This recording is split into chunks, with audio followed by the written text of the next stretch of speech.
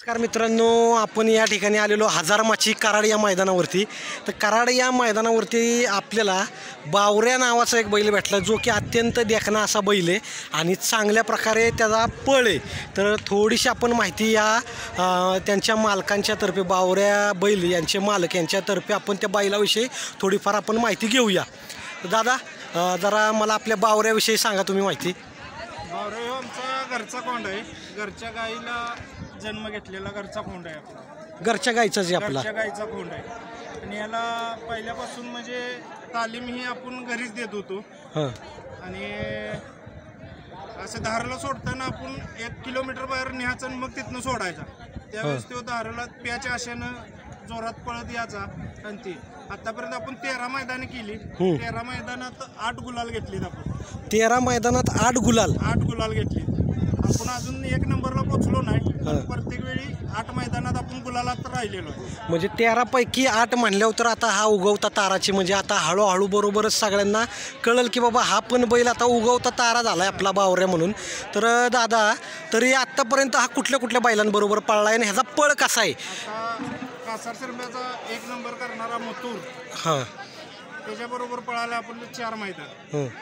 त्याच्यानंतर नरसिंगपूरचा शंभू त्याच्याबरोबर दोन मैदान. आणि आपल्या घरचं एक हा. आहे पाखऱ्या पक्षा म्हणून. त्याच्याबरोबर दोन डाव पळाला. त्याच्यात गट पास केले. आणि काशीगावमध्ये आपण दुसऱ्या नंबरला बक्षीस घेतले. होय. आदतमध्ये. घरची गाडी होती आपली. घरचीच गाडी होती आदतमध्ये. गाडीनं आपण काशीगावमध्ये फायनल दुसऱ्या नंबरचं घेतलं आपण.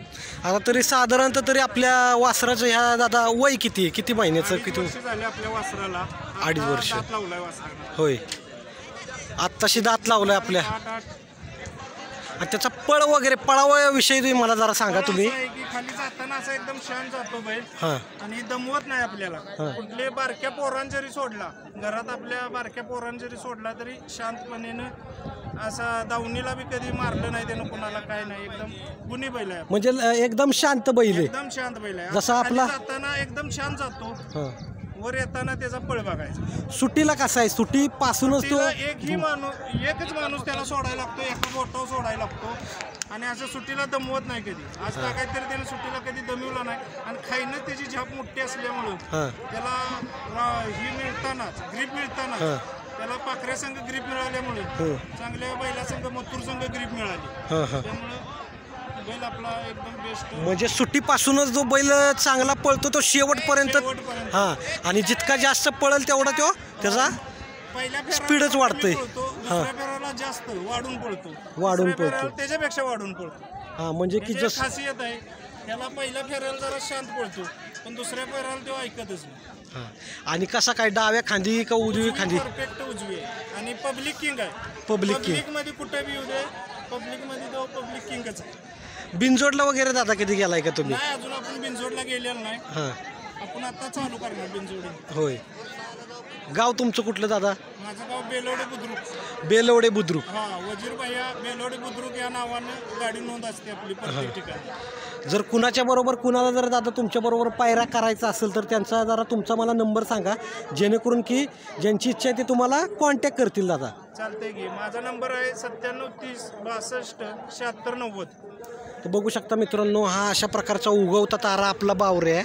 हा उजवी खांदी एकदम पब्लिकनं फिट आहे पळायला पण चांगला आहे फक्त की अजून आता मोठ्या बैलांच्या बरोबर एकदा का तो पळला की मग त्याचा पळच बघायचा. अख्खा महाराष्ट्रच गाजवणार. म्हणजे एक प्रकारे आता त्याचं भविष्य एकदम उज्ज्वलच आहे.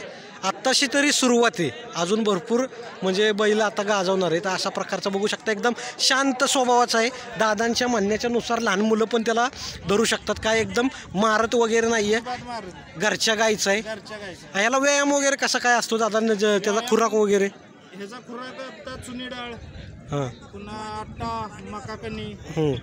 ते ते हरभरा कणी डाळ असते. आणि कितीतरी त्याला दिवसातनं तुम्ही काढता फेऱ्यांना वगैरे तरी? तरी दहा दिवसात एक बार काढतो दहा दिवसातनं एकदा काढता. एक बार काढतो. पवाय पवनी वगैरे? हो पवनी असते. पवनी पंधरा दिवसातनं कधी महिन्यानं. आता दादा जरी अंदाजे आपलं ज्यावेळेस आपण मैदानाला येतो तर मैदानावर येत असताना आपण म्हणजे नेमकं काळजी कशी घ्यायची की बाबा आपण आदल्या दिवशी बैलाला घेऊन आलेलं बरं असतं का बाबा मैदानाच्या त्याच दिवशी घेऊन आलेलं बरं असतं? कारण का बैलाला जेवढा आराम भेटेल तेवढं बरं बरं असतं. तुमच्या मते मला सांगा तुमचं मत जरा. नाही आता आम्ही कसं आहे जवळ आसपासचे मैदान करतो त्यामुळे ज्या दिवशी मैदान असतं त्या दिवशी आपण घेऊन जातो. आणि त्याला संध्याकाळीच पोटभर खाद्य ही सगळं संध्याकाळीच ठेवायचं सकाळी अर्ध्या पोटाने आणायचा. कारण जेणेकरून की पळताना त्याला दम भरून धाप भरून म्हणजे म्हणजे मैदानावरती आल्यानंतर त्याला एकदम हलका आहार द्यायचा. काय थोडाफार असेल तोच द्यायचा. जास्त काही द्यायचं नाही. जेणेकरून की बैलाला पण आपल्या त्रास होऊ नये. तर बघू शकता मित्रांनो असा पब्लिकचा किंग उजवी खांदी बावऱ्या. तर कुणाला पण याच्याबरोबर पायरा करायचा असेल बैल तर चांगलाच एकदम जबरदस्ती पळाला. कधी पण तुम्ही कॉन्टॅक्ट करू शकता या दादांचा. दादा तुमचा हा किमती वेळ दिला आणि मौल्यवान अशी आम्हाला माहिती सांगितली त्याबद्दल. धन्यवाद दादा.